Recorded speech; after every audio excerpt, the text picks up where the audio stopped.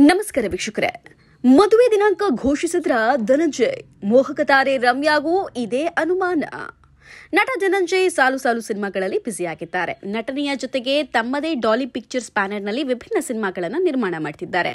ಇದೀಗ ಒಂದು special video release ಮಾಡಿದ ಧನು ಕುತೂಹಲ ಕೆರಳಿಸಿದ್ದಾರೆ. ಹನ್ನೆರಡು ಮೈನಸ್ ಒಂದು ಈಕ್ವಲ್ಸ್ ಟು ಇಪ್ಪತ್ಮೂರು ಏನಿರ್ಬೋದು ಅಂತ ಕೇಳಿದ್ದಾರೆ. ಈ ಪ್ರಶ್ನೆಗೆ ಉತ್ತರ ಏನು ಅಂತ ಅಭಿಮಾನಿಗಳಂತೂ ಸಿಕ್ಕಾಪಟ್ಟೆ ತಲೆಗೆ ಹುಳ ಬಿಟ್ಕೊಂಡು ಯೋಚನೆ ಮಾಡ್ತಾ ಒಂದೊಂದು ರೀತಿ ಕಮೆಂಟ್ ಮಾಡ್ತಾ ಇದ್ದಾರೆ. ಆದ್ರೆ ಯಾರೊಬ್ರು ಕೂಡ ರಹಸ್ಯ ಏನು ಅನ್ನೋದನ್ನ ಭೇದಿಸೋಕೆ ಸಾಧ್ಯ ಆಗಿಲ್ಲ.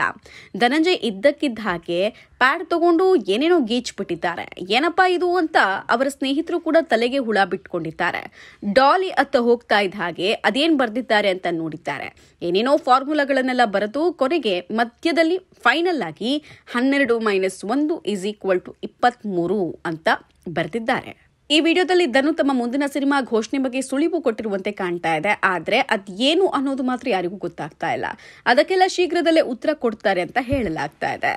ಮೋಹಕತಾರೆ ನಟಿ ರಮ್ಯಾ ಮಾತ್ರ ಧನಂಜಯ್ ಅವರ ಈ ನಿಗೂಢವಾದ ಪೋಸ್ಟ್ಗೆ ಕಮೆಂಟ್ ಮಾಡಿದ್ದಾರೆ. ನಿಮ್ಮ ಮದುವೆ ದಿನಾಂಕ ಅಂತ ಕಮೆಂಟ್ ಮಾಡಿದ್ದಾರೆ ನಟಿ ರಮ್ಯಾ.